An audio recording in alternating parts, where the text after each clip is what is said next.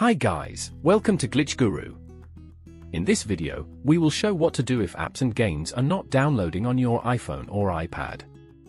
First thing you need to do is try signing out of your Apple ID and sign back in. For that, open the Settings app and tap on your name at the top. Scroll down to tap on Sign Out.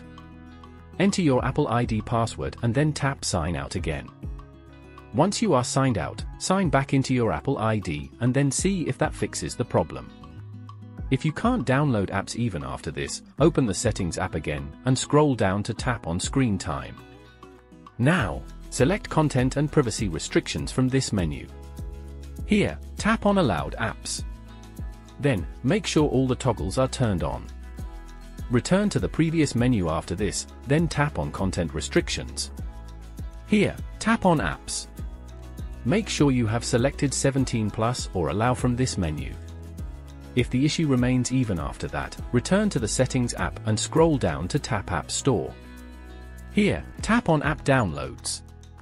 Then, tap on Always Allow.